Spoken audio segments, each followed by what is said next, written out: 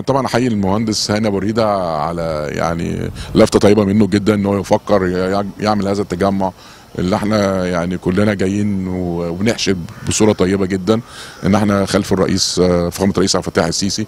وأنا شايف إن الموضوع آه، نتائجه إيجابية نتكلم كابتن محمود الخطيب موجود كل رؤساء آه، المهندس سمير حلبية موجود كل رؤساء الأندية بتاعي على مستوى مصر كلها موجودة. فدي يعني رسالة واضحة من آه، المجتمع الرياضي ومجتمع كرة القدم بالأخص إن إحنا كلنا خلف الرئيس. وأتمنى إن شاء الله الناس كلها تعي هذا الموضوع. الراجل فعلا بيتعب جدا والراجل مادي أداء أكثر من رائعة ولكن في الآخر آه، في بعض السلبيات اللي الناس حاسة بيها. أنا وجهة نظري إنها محتاجة آه، هو عارفها وعارف أكتر مننا اللي وجع الناس. فأتمنى إن شاء الله في المرحلة اللي جاية خلال الاربع سنين اللي جايين وأنا ضد أربع سنين أنا كنت أتمنى يكونوا خمس سنين كل دورة ولكن أتمنى إن شاء الله إن الشعب كله ينزل يوم الانتخابات ويقول كلمته كلمه حق.